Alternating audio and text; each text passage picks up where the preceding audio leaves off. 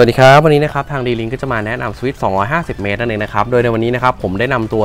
สวิตช์ที่เป็น DGS ขีด F Series นะครับนั่นก็คือสวิตช์ 250 เมตรที่เป็นแบบกิกะบิตนั่นเองนะครับมาแนะนำให้กับคุณลูกค้าทุกท่านเลยนั่นเอง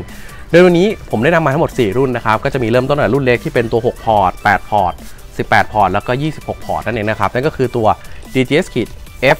1006 P E DGS ขีด F 1010 P E แล้วก็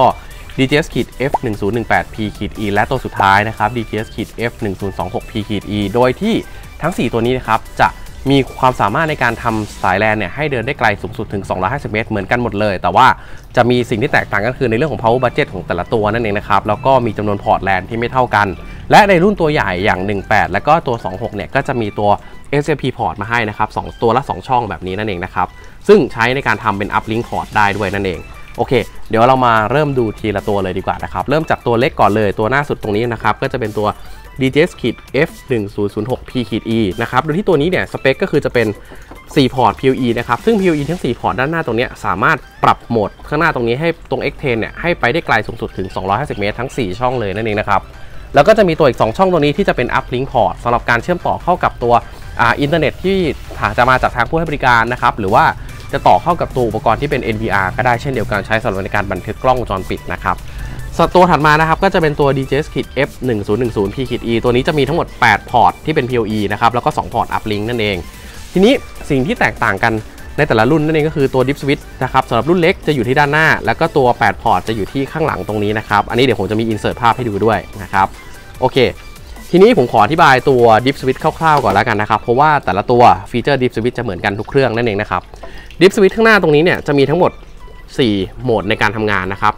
จะเริ่มจาก AI VLAN นะครับ AI ตัวที่เป็นเขียนว่า AI Extend AI PoE แล้วก็ AI QoS นะครับตัวที่1เนี่ยจะเป็น AI VLAN นะครับ AI VLAN เนี่ยจะใช้สำหรับการทำ isolate port เข้ากับตัวระบบ network ของดั้งเดิมของเราที่เรามีอยู่นั่นเองนะครับตรงนี้ ซึ่งก็จะมีบางท่านใช้บางท่านก็จะไม่ได้ใช้นะครับ แต่ส่วนใหญ่ก็จะไม่ค่อยมีใครได้ใช้ตัว AI VLAN กันนั่นเองนะครับ ส่วน AI Extend ตัวเนี้ยเป็นฟีเจอร์ที่เรียกว่าหลาย ๆ คนซื้อสวิตช์รุ่นนี้เพราะมันทำได้นะครับ AI Extend ที่ตัวเบอร์ 2 ตัวนี้นะครับ เราเวลาจะใช้เราก็เปิดสวิตช์ขึ้นมาแบบนี้อ่าดันขึ้นมานะครับหนึ่งคลิกให้เขาขึ้นมาเป็นสเต็ปแบบนี้ก่อน จากนั้นเนี่ยให้เราถอดปลั๊กสวิตช์หนึ่งครั้งแล้วเสียบกลับเข้าไปใหม่เพื่อให้ตัวสวิตช์เขาทำการอ่านค่าตัว DIP switch ใหม่นั่นเองนะครับ อันนี้ ก็คือจะเป็นการทำให้สามารถเราสาลากสายแลนเนี่ยได้ไกลสูงสุดถึง 250 เมตรเลยนั่นเองนะครับสำหรับพอร์ตที่ 1 ถึงพอร์ตที่ 4 แต่ว่า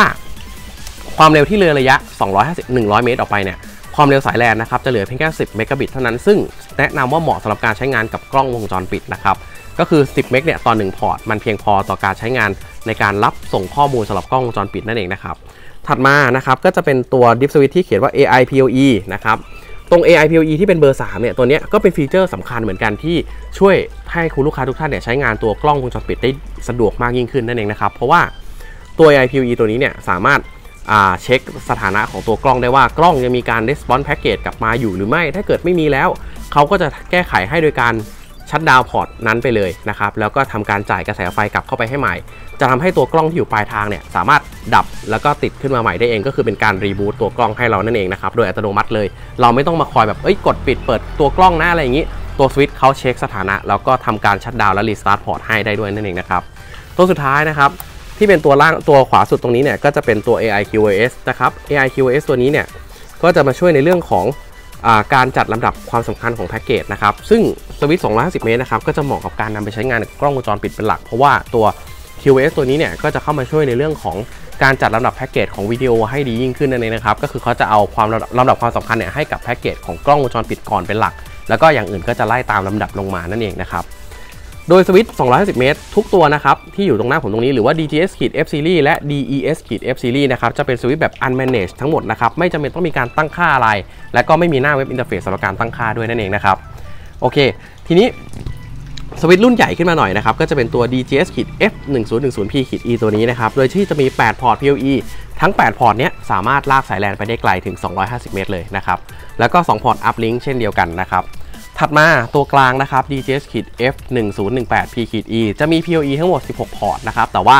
พอร์ตที่ลากไปได้ไกลถึง 250 เมตร เมื่อเปิดตัว AI Extend แล้วเนี่ยก็จะมีเพียงแค่พอร์ต 1 ถึงพอร์ต 8 เท่านั้นนะครับ ส่วนพอร์ตที่เหลือก็อีก 8 พอร์ตก็จะเป็นเพียง 100 เมตร PoE ปกติเท่านั้น แล้วก็จะมี SFP พอร์ตให้ 2 ช่องตัวนี้นะครับ เป็นสำหรับทำ uplink พอร์ตนั่นเอง และตัวสุดท้ายครับที่ใหญ่สุดก็คือ DGS ขีด F1026 P E ตัวนี้นะครับจะมีพอร์ตที่ 1 ถึงพอร์ตที่8เนี่ยจะเป็น PoE แบบ 250 เมตรนะครับส่วนพอร์ตที่เหลืออีกอ่า 10 อีก 16 พอร์ตเนี่ยก็จะเป็นตัว 100 เมตร ปกตินั่นเองนะครับ แล้วก็จะมี combo port นะครับให้อีก 2 ช่องเช่นเดียวกันสำหรับการทำเป็น uplink นั่นเอง ซึ่งใช้เป็น XP แบบกิกะบิตได้ทั้งหมดเลยนั่นเองนะครับตรงนี้ โอเค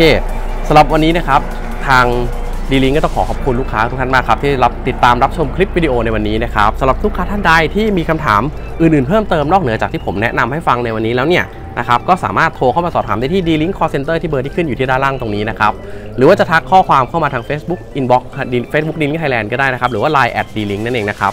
ทีนี้แต่ถ้าเกิดลูกค้าท่านใดที่ต้องการที่จะซื้อสินค้าตัวนี้สามารถติดต่อซื้อได้ที่ตัวแทนจำหน่าย D-Link นะครับหรือว่าจะสั่งซื้อกับทาง D-Link Official Store ที่ขึ้นอยู่ใต้คลิปวิดีโอตรงนี้ด้วยเช่นเดียวกันนั่นเองนะครับโอเค